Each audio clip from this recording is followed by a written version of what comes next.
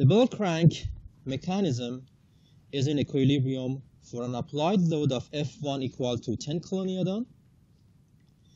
Assume A is 310 millimeters, B is 100 millimeters, C is 85 millimeters, and theta is 50 degree. The pin at B has an ultimate shear strength of 370 megapascal.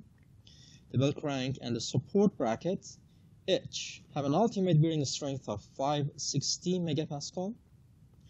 Determine the minimum diameter required for the pin at B if a minimum factor of safety of 2.5 is required with respect to shear and bearing. Report the actual factors of safety for all three considerations based on your chosen pin diameter. Okay. In this problem, I want to use almost everything that I have learned before, mostly determining stress. Okay, the first step is free body diagram. Okay, I want to make my element free the only thing that restrains my element here would be a pin at B. So I will release that by putting two unknown forces there. First, let me project F1, the force in rod number 1, into two components in the x and y direction. And I will do the same for F2.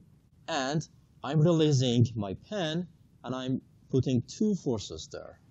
B in the x direction and B in the y direction. So now this element is free. All right. First, how much is f1x? That would be f1 times cosine of theta, which gives me 6.428 kilonewton. For f1y, that would be f1 times sine theta, and the value would be 7.66 kilonewton. And I can do the same for f2x and f2y f2x would be f2 times cosine of 30, which is equal to 0.866 f2, and f2y would be f2 times sine of th uh, 30, which is equal to half of f2. All right? Now, I will use some of the forces about uh, pin B to determine the values of f2x and f2y. Okay? how much would be the moment of this force? I assume the clockwise is positive, so that would be negative f1y times a. How much would be the moment of f1x? Zero, because it is passing through that point. How much would be the moment of f2y? That would be f2y times this distance, which is b, and that would be clockwise, so that would be positive. And for this one would be f2x times this distance, which is C. Okay? And that should be equal to 0. All right? I plug the values that I have, and I can solve it for F2. And that gives me F2 equal to 19.21 kilonewton. Now, I want to determine the reaction support. For that one, I have to use sum of the forces in x and y direction. Sum of the forces in x direction says bx plus f2x minus f1x, they should be equal to 0. I plug the values into this equation, and I can solve it for bx. That would be equal to negative 10.21 kilonewton. And sum of the forces in y direction, negative f1y, because that's going downward, minus f2y plus by equal to 0. And if I plug the values, by would be equal to 17.26. All right. So I have determined all in, all forces, reaction forces in this case. Can you tell me how much is the total reaction force at this pin. I have two components of forces here, and I want to determine the resultant force. The resultant force would be like this. Total forces at B would be square root of bx squared plus by squared. So the total force at B would be 20.1 kilonewton. Okay, so far I determined reaction forces. Okay, any questions so far? The second step would be using the design concepts to determine how much would be the factor of safety everywhere in this structure. Okay? First, I will consider shear stress at pin here. Look at this pin. This is a pin that is supposed to carry this load. FB is the total force that is transferred from this bell crank to the reaction supports. Okay, and there is one pin that is transferring that load. What kind of stress is developed in that pin? It's shear stress. Okay, so the shear stress equation would be force divided by area, and I need to determine each of these separately. How much is force? We just talked about that. That would be the total force that transfers from that bell crank to the support. So that would be equal to FB, which is 20.1 kilonewton. Okay? What is the area that I should consider in this pin? Do I have two shear faces or just one shear face? It's two. Can you see that? We call this as single shear connection. And in the other case, would be double shear connection. In this case, we have double shear connection. Correct? So the area would be 2 times area of one pin. 2 here is because I have double shear connection. An area of one pin would be simply pi d squared over 4, and d is diameter of that pin. All right? So that would be 1.571 d squared. Remember, I don't know how much is diameter, and I want to design what would be the required diameter for this case. So shear stress should be V over A. That gives me 20.1 kilonewton. I multiply that by 1000 to get that into newton. And I will divide that by area, which gives me 1.571 d squared. And I know that this stress should be smaller than the allowable stress.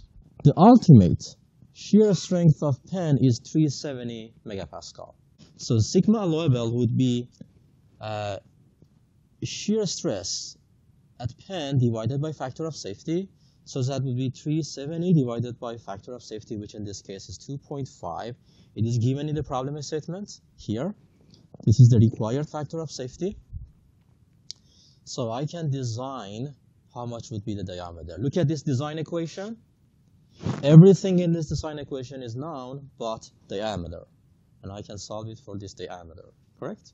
and that gives me diameter squared equal to 86.44 squared millimeters and diameter would be 9.3 so the minimum required diameter for transferring this load from bell crank to support would be 9.3 millimeters now I want to consider another part for the other part I will focus on the bearing stress criteria the bearing stress is a normal stress. So similar to other stresses, if I want to determine that, that would be force over area. Okay. The question is, the force is known here. The force, the total force is the FB, the 20.1 kilonewton. The question is, what is area? To understand what is area, focusing on this part. Okay, I'm enlarging this part and this is what I drew here. So there is a hole here. There is a pin inside that. Everybody can test that.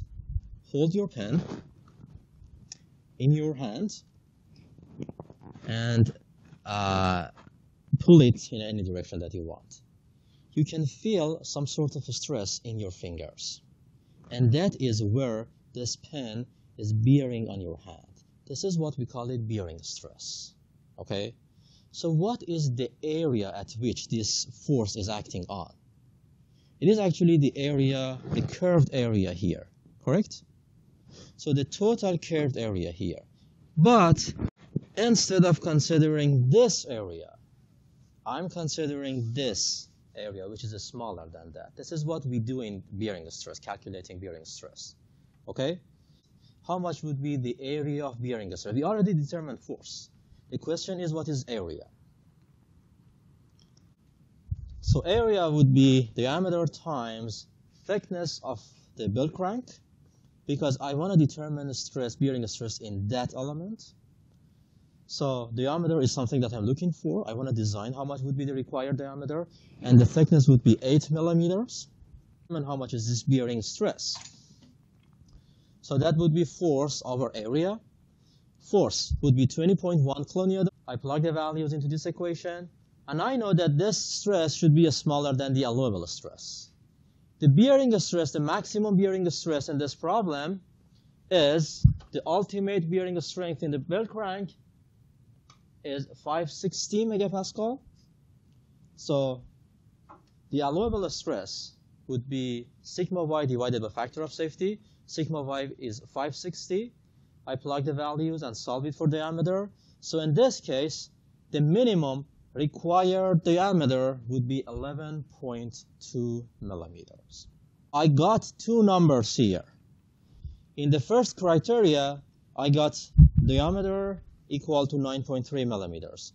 In the second criteria, I got 11.2 millimeters. Which one is the answer of this problem? We get the first case. It says that the diameter should be larger than 9.3. And in the second case, it should be larger than 11.2. So D would be maximum of these two values, and that would be 11.2 millimeter. All right. The last part, it asks for actual factor of safety for different parts. So at pin, remember, now I'm using larger diameters. It asks for 9.2 millimeters. I'm using larger diameters here. Shear stress is force divided by twice the area of pin. Force is 20.1 uh, kilonewton. And area would be pi times 11.2, because that is the new diameter of pin. Squared divided by 4, that would be 98.5 squared millimeters. And if I plug the values into this equation, that gives me the value of stress at the pin equal to 102 megapascal. How much would be the factor of safety in this case? Factor of safety is maximum allowable maximum yield stress at pin divided by the actual stress in the pin.